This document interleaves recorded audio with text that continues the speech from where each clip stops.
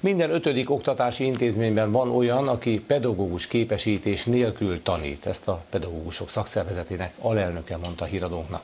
Az érdekképviseletek szerint jóval tízezer feletti a pedagógus hiány, így már van, ahol annak is örülnek, ha találnak olyan szakembereket, akik valamennyire kapcsolódnak még az adott tantárgyhoz.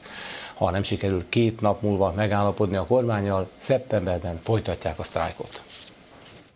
Három és fél hét múlva kezdődik az iskola, ám a híradónak nyilatkozó Dóra, aki nyolc éven át német és angol nyelvet tanított egy gimnáziumban, már nem tér vissza a katedrára. Áprilisban döntött el, hogy felmond. Belülről jól látjuk, hogy a jelen rendszer az mit gondol az oktatásról, az oktatásügyről. Nagyon jól látjuk, hogy borzasztóan rossz irányba megy az egész. Ez negyedikén kiderült, hogy még alsó hangon legalább négy évig ugyanígy lesz, ehhez én már nem asszisztálni.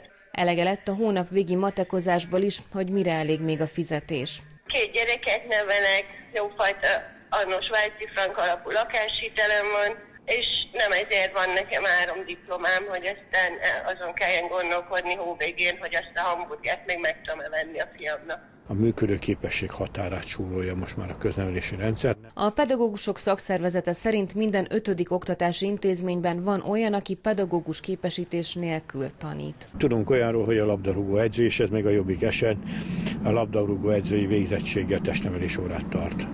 De tudunk olyanról is, aki idegenvezetőként dolgozott, és ez is a jobbik eset közé e, sorolható, és nincs pedagógus diplomája, és idegen nyelvet tanít. Azt látjuk az álláshirdetésekben, hogy tízezer fölötti, jóval tízezer fölötti, inkább tizenegyezer felé halad az üres állás, a meghirdetett üres álláshelyek száma. A pedagógusok viszont már készülődnek. Nagy Erzsébet szerint ugyanis így már nem folytatódhat a munka. Hogyha nem lesz most tizedikén a következő sztrájktárgyaláson látható béremelésről szóló ajánlat, egészen biztos, hogy szeptember 1-től folytatni fogjuk a sztrájkot, és nagyon sok kollégánk bejelentette, hogy a polgári engedetlenségbe is beleáll. Nagy Erzsébet arról is beszámolt, elkezdenek egy akciót, amelyben iskolánként mutatják majd meg, hogy az adott intézményben milyen szakember hiány van.